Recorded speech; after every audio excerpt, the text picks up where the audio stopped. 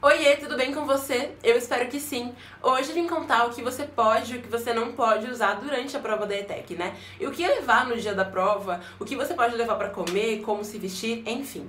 Então, se você estava com dúvidas sobre isso, continua aí assistindo esse vídeo. Bom, o primeiro item é indispensável, que é você levar o seu documento de identidade com foto. Se você não levar, você nem entra para fazer a prova. Então, por favor, não esquece de levar, tá?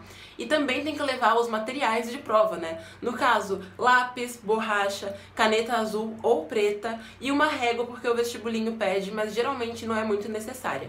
E bom, esses são os únicos materiais que você pode utilizar durante a prova. Nada de canetinha, caneta de gel, lápis de cor, post-it, folha extra para rascunho o caderno, dicionário, livros, nada disso é permitido durante a prova. Muito menos calculadora e celular. Se você usar calculadora na prova, você pode até mesmo ser eliminado da prova.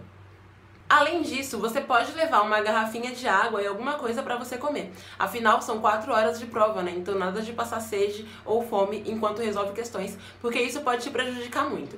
E bastante gente me pergunta o que é possível levar para comer, enfim. E eu sempre recomendo que você leve algo que você goste de comer, que te faça bem, que te deixe assim com mais energia e com mais ânimo para fazer a prova. Chocolate, principalmente meio amargo ou mais amarguinho, é totalmente recomendável Quanto à roupa, você pode vestir o que você quiser, tá? Pode ser saia, short, calça, enfim.